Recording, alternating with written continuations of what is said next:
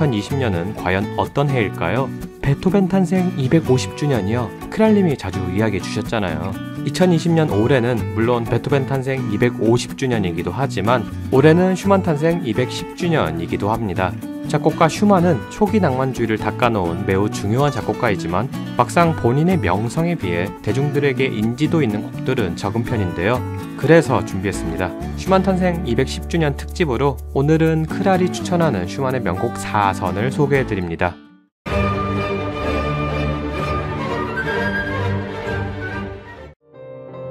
슈만 하면 피아노, 피아노 하면 슈만이죠. 첫 번째로 소개해드릴 곡은 슈만의 피아노 곡인 환상곡 작품 번호 17입니다.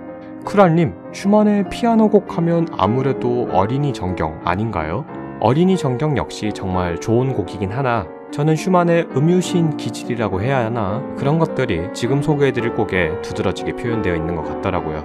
슈만의 환상곡은 3악장 구성의 곡으로 그의 영원한 여인 클라라 슈만을 위해 썼다고도 알려져 있죠.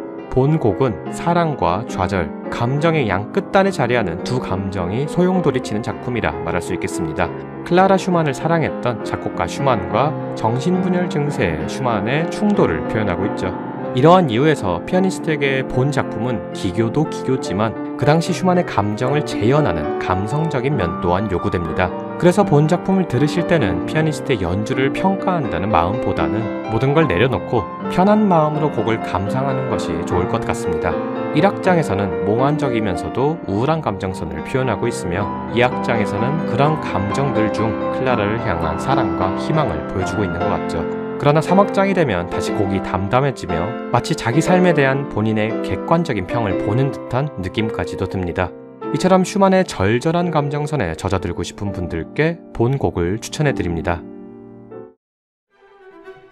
두 번째로 소개해 드릴 곡은 슈만의 첼로 협주곡입니다.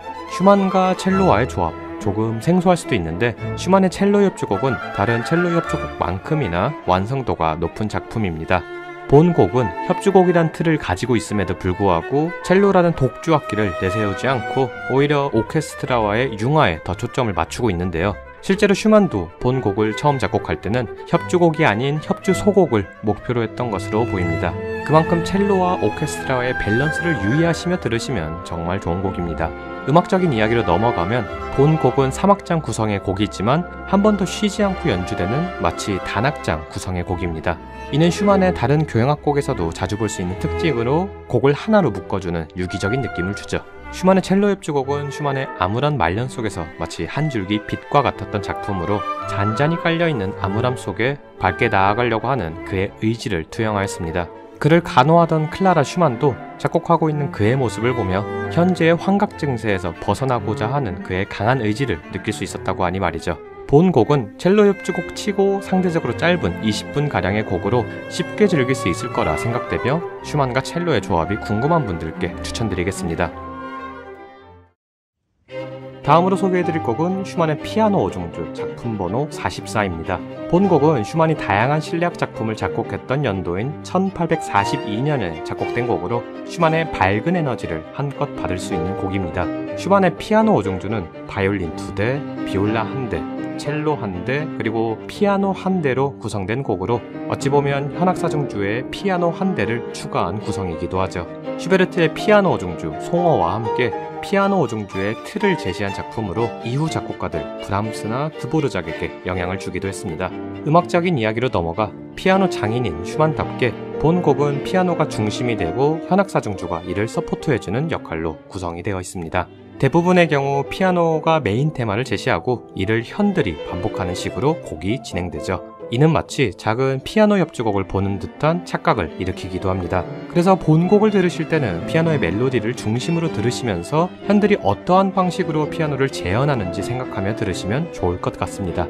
모든 악장이 다 좋지만 저는 3악장 그리고 4악장 이렇게 두 악장을 연속으로 듣는 게 특히 좋더라고요. 춤곡 특유의 풀풀 넘치는 에너지로 뭉친 3악장과 이 감정을 한번 정리해서 천천히 빌드업해다가 결국에 한 번에 터트린 4악장의 마무리까지 이러한 슈만의 밝은 에너지를 몸소 느끼고 싶은 분들께 추천드립니다. 마지막으로 추천해드릴 슈만의 명곡은 그의 교향곡 4번입니다. 슈만의 교향곡 4번은 초기 낭만주의 교향곡의 정수를 보여주는 작품으로 내 악장이 마치 유기적인 하나의 악장인 것처럼 구성되어 있습니다. 예를 들어 1악장에 나왔던 테마를 마지막 악장인 4악장에서도 재등장시키면서 곡을 하나로 묶어주고 있으며 또 3악장에서 4악장으로 넘어갈 때 쉬지 않고 바로 넘어가는 구성으로 곡의 유기성을 더해주고 있죠.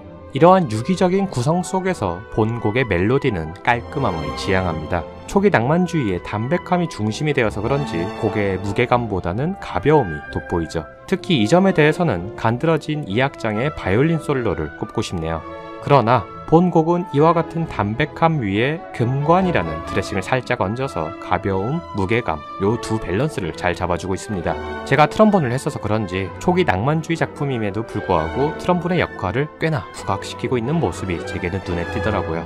이러한 복합적인 이유에서 본곡은 교향악곡과 거리가 있어 보이는 슈만을 이해할 때 좋은 시작점이 되지 않을까 생각합니다. 슈만의 교향악곡을 더 알아가고 싶은 분들께 추천드립니다. 오늘은 이렇게 슈만 탄생 210주년 특집으로 슈만을 대표할 수 있는 명곡 4선에 대해서 알아보았습니다. 오늘 소개해드린 음악들에 대한 추천 영상은 본 영상에 댓글로 남겨놓았으니 참고하시길 바랍니다. 그리고 더 알고 싶은 클래식에 대한 이야기가 있으시면 댓글로 남겨주시길 바랍니다. 우리 모두가 클래식을 잘 알게 되는 그날까지 이상 크랄이었습니다.